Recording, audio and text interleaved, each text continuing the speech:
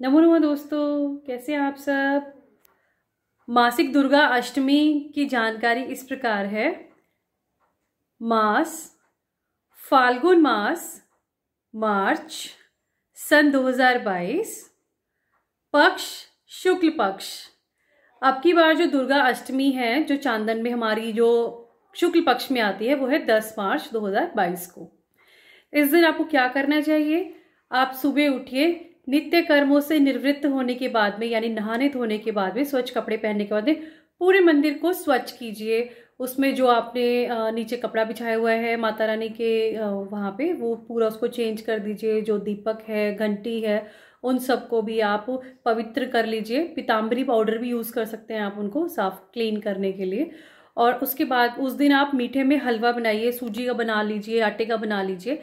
और फिर तिलक कुमकुम लेके जितने भी देवी देवता हैं, सबको तिलक कीजिए, सब सर्वप्रथम अपनी कुल देवी और जो दुर्गा माँ की आपने प्रतिमा लगाई हुई है, उनको तिलक लगाइए।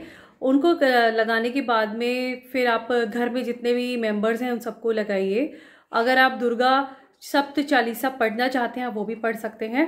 और नहीं तो आप हलवे का भोग रख के और उसमें दक्षिणा रख के, दीपक प्रज्वलित करके माँ दुर्गा की आरती भी कर सकते हैं। तो इस प्रकार से आरती करते हैं और फिर सभी जितने भी सदस्य हैं, वो हाथ में चावल लेके माता अपना, माता रानी से जो भी आपकी इच्छाएँ हैं, उनसे मांग के और फिर उनको धोख लगाते हैं।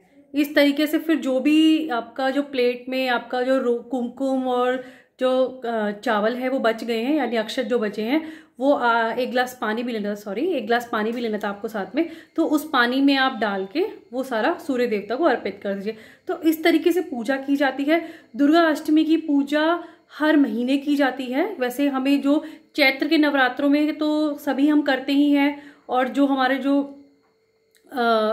दशहरे वाली जो अष्टमी आती है, हम उसमें भी पूजा करते हैं। लेकिन हर महीने भी जो शुक्ल पक्ष आता है, यानी कि जो चांदन आता है, उसमें दुर्गा अष्टमी पड़ती ही है। अब की बार वो दस मार्च को है। आगे जो चैत्र की आएगी, उसकी जानकारी मैं आगे दूँगी। ऐसे ही मेरे वीडियोस को देखते रहिए। नमो नमः।